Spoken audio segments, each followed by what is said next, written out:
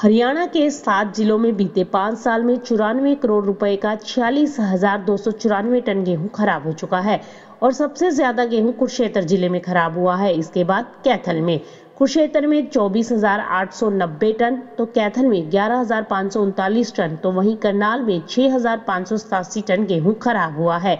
उधर यमुनानगर में भी 2500 टन तो फतेहाबाद में साढ़े चार सौ और जींद में 315 टन और रोहतक में बारह दशमलव सात टन गेहूँ खराब हो चुका है। खाद्य एवं आपूर्ति विभाग ने दावा किया है कि पाँच साल में पाँच हज़ार पाँच सौ उनचास मीट्रिक टन गेहूँ ही खराब हुआ है। 2022 में HAFED, Haryana Bhandar Nigam, food corporation of India, खाद्य एवं सप्लाई विभाग ने चार लाख बाईस हज़ार पाँच एम टी दो हज़ार इक्कीस में सात लाख अट्ठाईस हज़ार तीन सौ छत्तीस एम टी जबकि 2020 में सात लाख तैतीस हज़ार एक सौ उनतालीस एम टी और 2019 में आठ लाख अठारह हज़ार दो सौ सत्तर एम टी और 2018 में सात लाख पचपन हज़ार तीन सौ चौरानवे एम टी गेहूँ की खरीद की थी।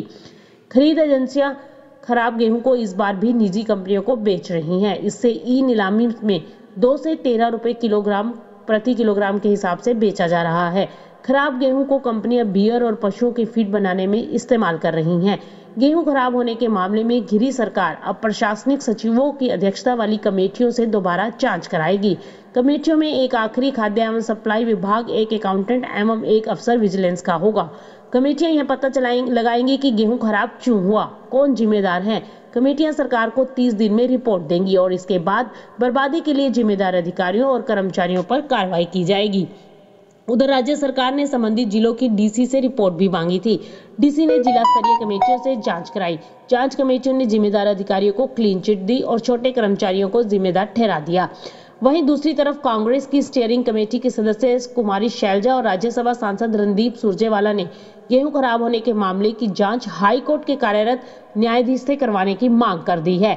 उन्होंने कहा है कि चौरानवे करोड़ रुपए का गेहूँ खराब दिखाया जा रहा है। अच्छे गेहूँ को आपसी मिली भगत कर खुले बाज़ार में बेचा गया और उसकी जगह खराब क्वालिटी का गेहूँ गोदामों में रखवाकर सड़ा दिया गया है। यह सरकार के संरक्षण बिना नहीं हो सकता। ऐसे में विपक्ष ने सरकार को घेरा है। Bureau report, Market Times TV.